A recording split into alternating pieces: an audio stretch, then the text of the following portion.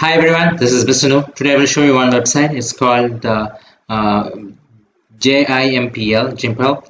It is used for checking the shutter count of your camera. So if you're buying a new camera and you want to check the uh, shutter count of that camera, that means how many times that photos were clicked using that camera, mostly for DSLR and SLR.